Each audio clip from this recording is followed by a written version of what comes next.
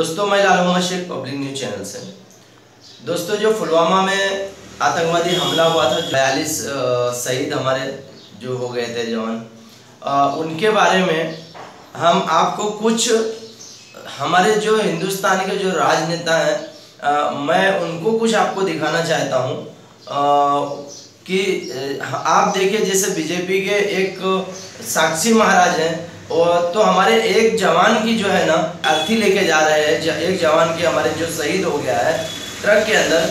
और ट्रक के अंदर हमारे साक्षी महाराज इस तरीके से हम आपको अगर ना बताएँ न्यूज़ के ज़रिए से कि इस इस ट्रक के अंदर आ, कि मतलब एक जवान की हमारी शहीद की हमारी एक बॉडी है उसके अंदर तो ये मतलब शायद किसी को भी पता ना चले इस तरीके से इन्होंने रैली निकाला है, जैसे कि कोई चुनावी रैली है और अपने चुनाव का प्रचार कर रहे हैं तो ये ये इस तरीके से आप देख सकते हैं जैसे कि किस तरीके से रैली चल रही है, किस तरीके से लोग चल रहे हैं और ट्रक के अंदर खड़े रह के। तो इस, ऐसा लग रहा है कि ये चुनावी रैली में। तो हम इन ऐसे ढोंगियों नेता से हम कहना चाहते हैं, इस तरीके से जो ढोंगी नेता है, इनसे हम साफ़ साफ़ लफ्जों में कहना चाहते हैं कि ये राजनीतिक, इतनी गंदी राजनीतिक आप लोग बंद करिए और इस तरीके से गंदी राजनीतिक ना खेलिए। कोई अपने आ, अपने बच्चों को यतीम करके कोई दुनिया से चला गया अपनी बीवी को यतीम करके कोई अपनी दुनिया से चला गया और आप उसके ऊपर फिर भी राजनीति कर रहे हो। और आइए जो कुछ सच्चाई है सरकार की उन्होंने कुछ पवन मिश्रा ने बयान किया है वो भी देखिए। पुलवामा में हमारे कम से कम बयालीस नौजवानों को मारा। और वो नौजवान कह रहे थे कि हमें एयरलिफ्टिंग करवाया जाए। एरोप्लेन से यहाँ से वहाँ भेज दिया जाए। मगर उनकी बात को नहीं माना।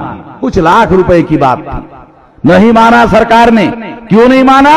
क्योंकि सरकार के पास आठ दिन पहले खबर थी कि इन लोगों को मारा जाने वाला पहले से जानकारी थी।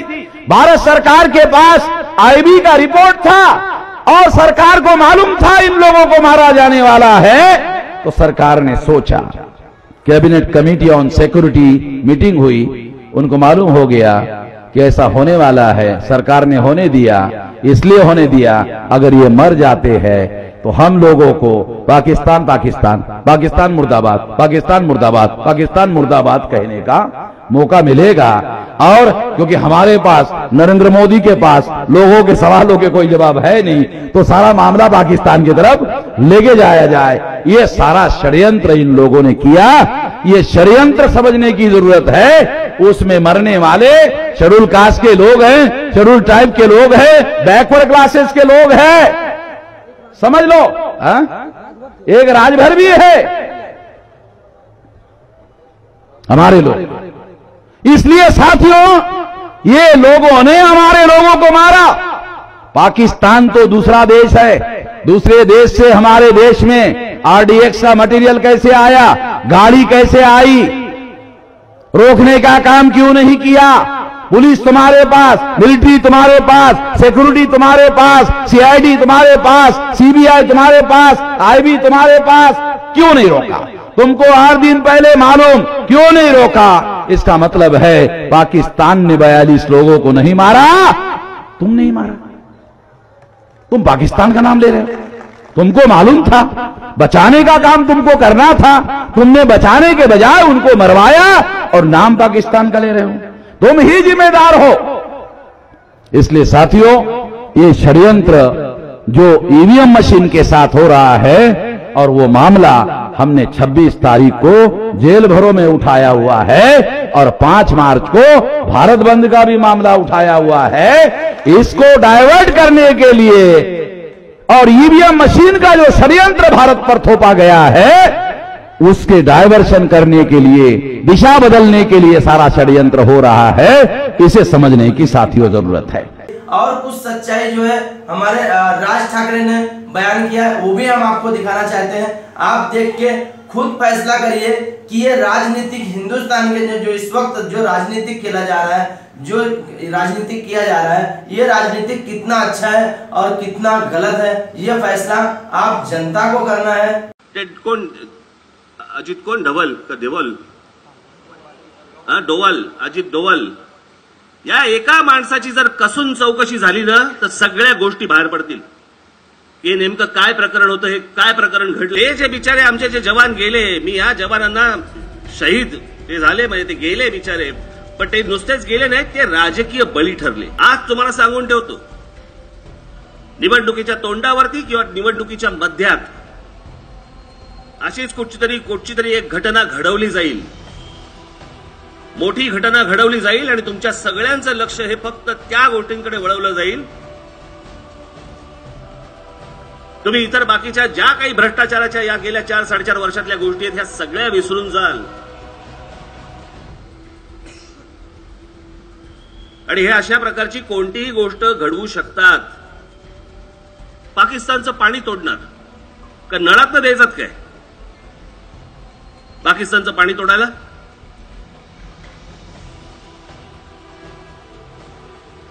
काही इंटरनॅशनल वॉटर ऍक्ट वगैरे नावाची काही गोष्ट असते की नाही? जे दोन देशातनं किंवा तीन देशामधनं जे पाणी जातं ते काय एक देश थांबवू शकतो का असा? मी काल असंच मला एक व्यंगचित्र सुचलं होतं. पाकिस्तानचं पाणी बंद करणार. पण नदीमध्ये काय आडवा बंधारा म्हणून अमित शहाला बसवणार होते का? की अमित शहा जा रे झोप त्या नदीमध्ये. अडेल पाणी आपोआप.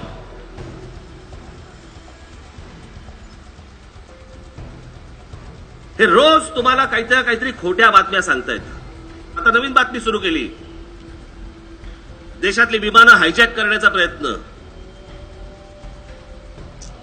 म्हणजे तुम्ही इतर सगळ्या गोष्टी विसराव्यात. म्हणजे तुम्ही राफेल विसरावं. तुम्ही नोट- नोटबंदीमध्ये झालेला गैरव्यवहार विसरावा. तुम्ही इतर जेवढे सगळे विषय, मी ते हे सगळे काढणार आहे. आज तो काही दिवस नाहीये.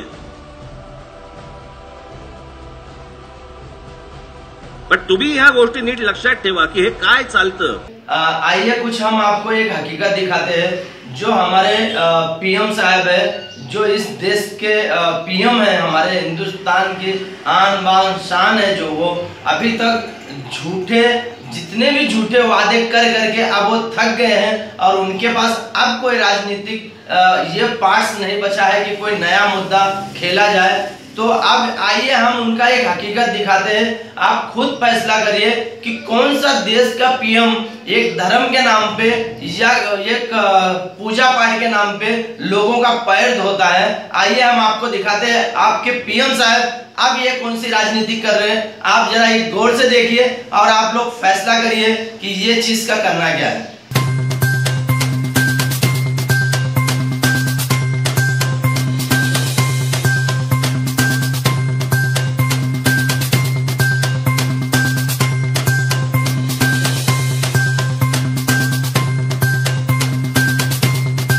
मैं लाल मोहम्मद शेख, फिर एक नई न्यूज़ के साथ हाजिर हूँ। जब तक के लिए नमस्कार।